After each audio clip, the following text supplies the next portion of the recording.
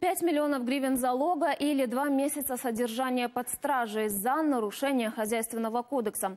Таково решение Харьковского райсуда в отношении Вадима Мохова. Он директор Укргазвыдобыток, менеджер компании, близкой к нардепу от оппозиционного блока Вадиму Новинскому. Подозревают, что Мохов якобы не выполнил приказ Госслужбы геологии о приостановлении спецразрешения на пользование недрами. Страна обвинения уверяет, Мохов, дескать, пытался скрыться от следствия, поэтому потребовали в суде залог в 32 миллиона гривен.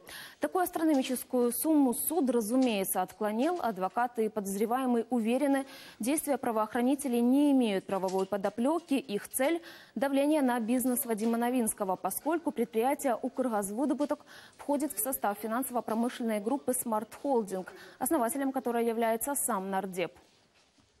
Судье дали э, сфальсифицированные документы о том, что мне подозра уже вручена. На самом деле мне ее вручили только вчера вечером. Относительно моего задержания, я считаю, что это незаконные действия. Э, Я вижу здесь три составляющие. Первое – это политическое, это давление на бенефициара нашей компании, Новинского Владимира Владиславовича. Вторая составляющая – это экономическая. Э, Я считаю, что такими э, методами пытаются заставить акционеров нашей компании перераспределить акции в пользу третьих сил. И третья составляющая – это то, что я являюсь активным общественным деятелем. Компания, которой я руковожу, э, одна из самых чистых и прозрачных компаний на рынке энергетики Украины. Йдеться про 32 мільйони гривень.